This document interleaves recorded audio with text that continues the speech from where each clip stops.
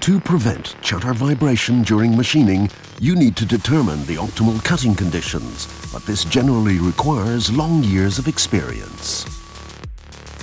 So operators with less experience have to adjust cutting conditions, such as spindle override, through trial and error.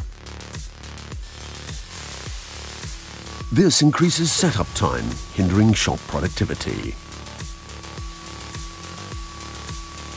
To tackle such issues, DMG Mori developed MVC, an application that automatically calculates the optimal cutting conditions to prevent chatter.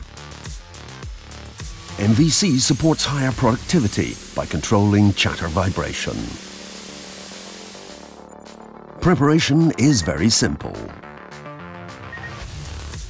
Enter the tool information into Celos and click the chatter detection button.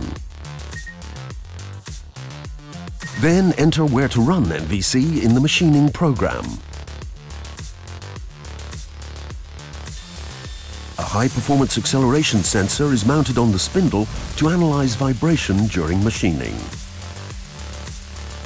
When chatter vibration is detected, the embedded software starts to calculate the optimal cutting conditions. Candidate spindle speeds for stable machining are calculated based on chatter frequency.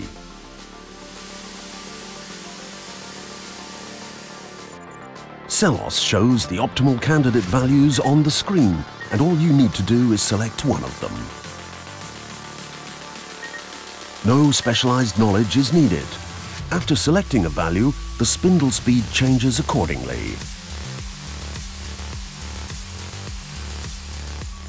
Machining is then carried out within a stable machining range and vibration is kept under control. You can easily save the optimal cutting conditions in a program to use them for future machining. No additional program input is required. One touch on the screen does it all.